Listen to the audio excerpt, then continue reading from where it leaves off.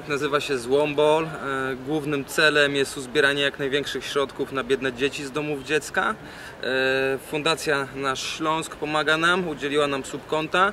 E, Dzięki temu zbieramy środki na biedne dzieci i pomożemy im kupić w przyszłości różne takie czasoumilacze, których po prostu z rządowych pieniędzy państwowych nie dostaną.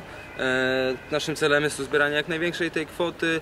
W zeszłym roku rajd z- uzbierał ponad 230 tysięcy. W tym roku liczymy na dużo, dużo więcej.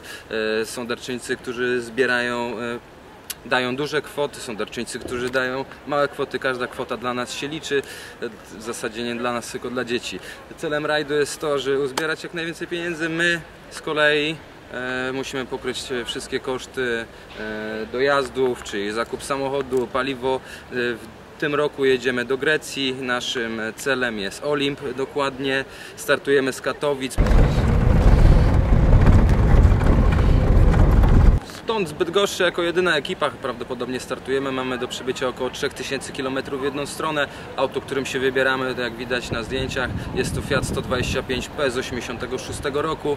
E, troszkę siły musieliśmy włożyć w to, żeby auto było sprawne i dojechało tyle. Mamy nadzieję, że dojedzie. E, będziemy trzymać kciuki. Mamy nadzieję, że bydgoszczanie również będą trzymali za nas kciuki.